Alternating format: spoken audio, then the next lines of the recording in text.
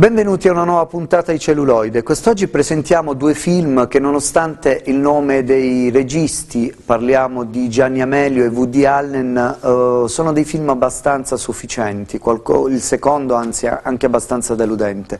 Il primo uomo di Gianni Amelio, presentato in anteprima nazionale in occasione del Bifest a Bari, tratto da, dall'omonimo romanzo postumo di Albert Camus, eh, pubblicato grazie a sua figlia, eh, un romanzo ritrovato trovato oh, nella carcassa dell'automobile dove trovò la morte eh, eh, suo padre e pubblicato nel 94. Racconta eh, di uno scrittore, eh, eh, John Cormiry, che eh, torna in Algeria nel tentativo di ricostruire e conoscere soprattutto la vita di suo padre e quindi l'incontro con le persone che, avevano, che aveva frequentato suo padre, le vicissitudini e soprattutto quali fossero i suoi sogni rimasti in una anonimato dove non esiste né passato né avvenire. Cito delle parole che vengono oh, pronunciate appunto da un attore nel film.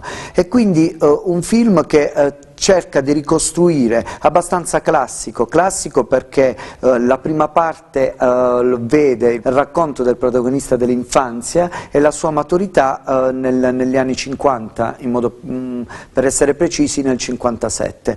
Diciamo che la regia eh, è abbastanza classica, quella utilizzata da eh, Gianni Amelio, sebbene abbastanza statica, inquadrature fisse, eh, qualche movimento di macchina che risultano funzionali solo all'azione uh, anche la musica, il commento musicale, nonostante si tratti di un grandissimo compositore, Franco Piersanti, è un commento uh, musicale abbastanza uh, classico, quasi scontato, insieme alla stessa fotografia. Non ne parliamo del doppiaggio, che nonostante annoveri nomi come Francesco Favino, Kimi Rossi Stewart e Giancarlo Giannini, diciamo il gota ha non solo degli attori italiani, ma anche di coloro che hanno dato voce a grandi personaggi del cinema anche a livello internazionale eh, risulta eh, veramente eh, non funzionale, eh, oltre che eh, ci sono problemi da un punto di vista del labiale, e quindi abbastanza deludente. C'è una frase che commenta e, e ci piace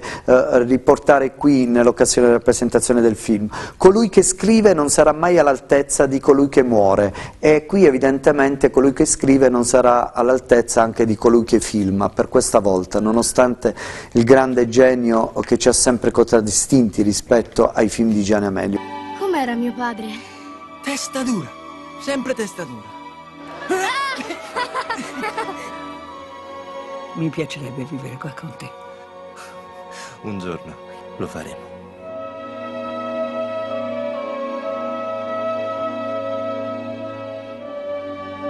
Un altro film eh, deludente dal titolo To Rome with Love di Woody Allen, si sta facendo una grande pubblicità, risulta una sorta di brochure della, della città capitolina, eh, molto più bello il titolo originale, Bob Decameron, eh, che racconta appunto eh, una commedia abbastanza eh, scontata, con tutta una serie di eh, situazioni macchiettistiche e luoghi comuni abbastanza deludente.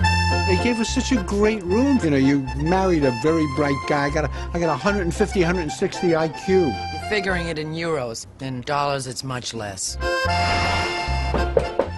Congratulazioni, perché è tutto pagato. Sono tutta tua, tutta per te. Ma guardi che ci deve essere un errore. Eh. Io sono qui per soddisfare i tuoi sogni. Ciao, faccio tanti. Ciao, ciao Gabriele. Papà. Ma che vi vede? Ma che siete Sei famoso! Cosa ha mangiato a colazione?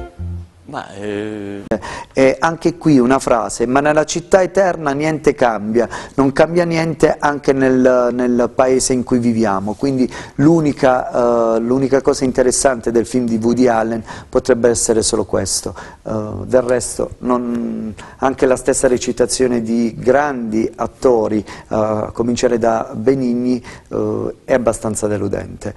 Vi lasciamo una settimana non abbastanza ricca come quelle che si prendono annunciano nelle prossime. Alla prossima e buona visione.